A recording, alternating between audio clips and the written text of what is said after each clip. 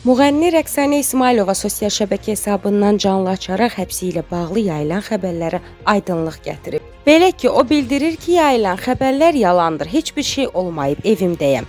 Kimin belə bir məlumat yaydığını bilmədiyini vurğulayan müğənni onun üçün narahat olanlara təşəkkür edib. Salam, ə, gün ortanız xeyir, hər vaxtınız xeyir mənim əzlərim. Deməli, bir neçə dəqiqə bundan öncə bütün Azərbaycan mətbuatı bütün hər yerdə dayanmadan məni yığırlar, ay məni saxlayıblar, ay məni nə ediblər. Mənim əzlərim boş-boş ə, başınızı falan ağrıtmayın.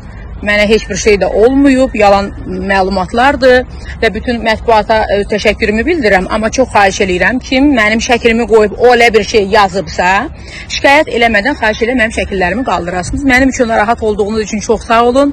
Mən evimdəyəm, Moskvadayam. Ayın onundan sonra da Azərbaycanda olacağam. Heç bir problemim zadımda mənim yoxdur. Boş-boş özünüzdən fason çıxartmayın. Yəni yalan məsələlərdir. Heç bir şey olmayıbdır. Öpürəm sizi. Ee, Allah sizi qorusun. Allaha əmanət olun. Yəni mən evimdə, ailəmin içindəyəm. Yəni boş məlumatlardır. Sağ olun. Narahat olduğunuza görə də təşəkkür eləyirəm.